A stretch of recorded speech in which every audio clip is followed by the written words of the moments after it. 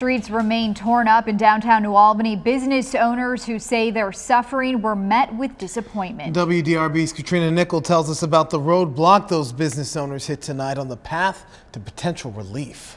Torn up streets, sidewalks, and signs reminding people stores remain open.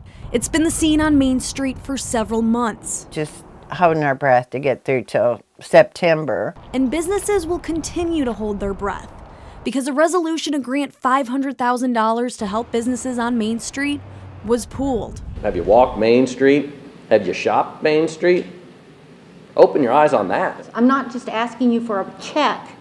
I have a lot of ideas, like billboard campaigns. Councilman Greg Phipps said the board got legal advice against using American Rescue dollars for the grants, which is where the half million dollars would come from. You can't engage in something that's illegal I mean, all the business owners out there, I want you to know that you get my sympathy and I try my best. Phipps said work is being done to see if nonprofits can help offer financial relief, but details about that could not be shared at Thursday's meeting.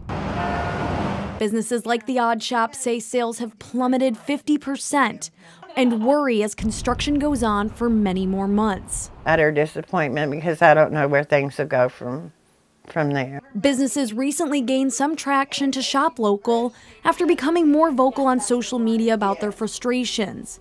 But the Odd Shop says it will take even more help. I know everybody's just, you know, crossing fingers and holding their breath at this point. To keep downtown businesses lights on. In New Albany with photojournalist Jonathan McEmber, Katrina Nickel, WDRB News.